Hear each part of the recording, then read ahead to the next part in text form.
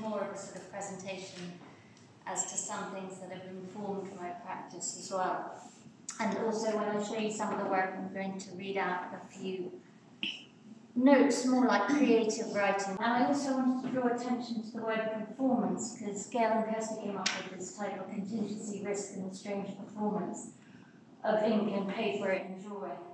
And, um, you know, the, the components of performance on the body and space and time.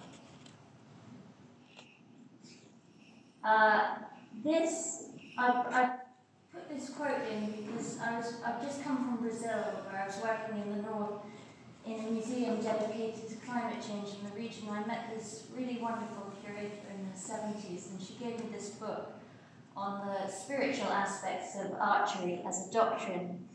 And, um, and the book highlights the traditions of these. But this, this, there's, there's such a synergy with with this and my practice as an artist because it's about the experience. Um, and actually, uh, this is this is an, an introduction, um, and he's a, a translator of, of Sanskrit and um, Chinese and Japanese as well. Um, but the book itself uh, is a is a, a German philosopher who was living in Tokyo, and he um, practiced with a Zen master, and it's really all about um, the uh, experience of nature. And he talks about the history of time and how that informs everything we do.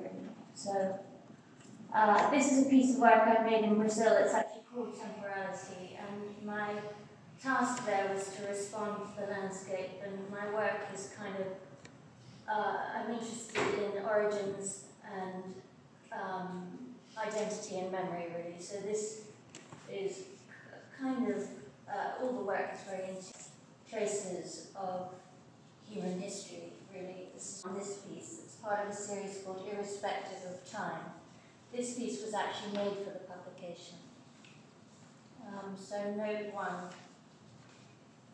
Uncertainty is a place, a corner of the world where thought is not yet known It manifests as carbon black, or as running water, or a continuous line. There is no beginning or end.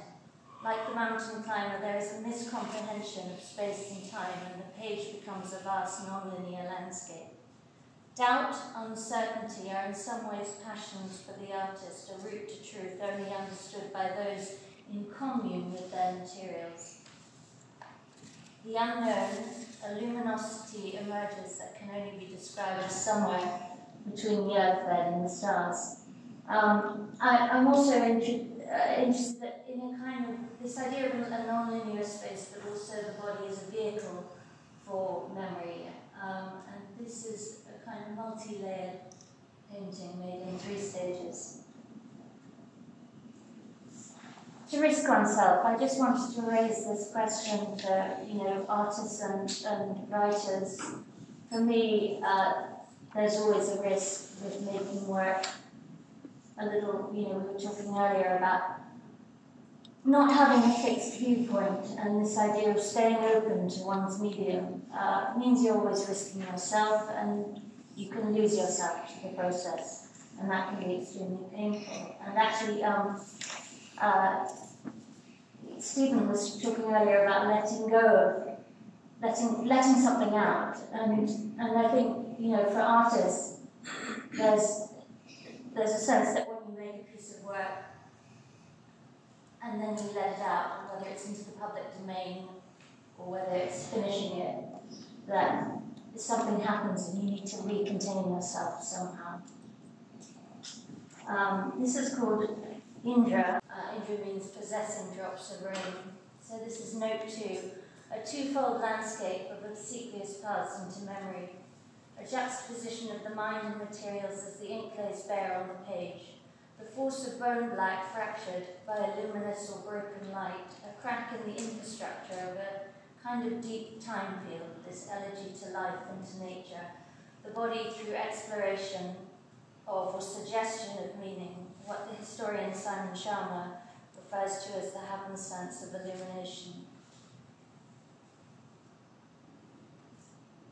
Uh, this is another piece recently made in Brazil. It's a kind of imprint. It's made blindly, so uh, you know, sort of non-seeing. It's made through uh, the paper being um, turned upside down on a plate, and then I, I look and return, and look and return, and, and it's sort of made through pressing the body as well. Um, so in it, a kind of um, quite organic images and, and references to animal life as well. So this is note three. The ancients, volcanic rock and fissures that open a, a human dialogue through their ruggedness and appearance of masters or myths, or fragmentation of light and opening in the two dynamic in the two-dimensional space of the page. What is here? A time circle of memory created by the hand itself. There's a place I seek in the work, the history of origins and time, other worlds projected from the psyche before birth itself, the carrying of meaning, layers of our own histories and flesh, an ethereal landscape and conference of marks and solitude. Um,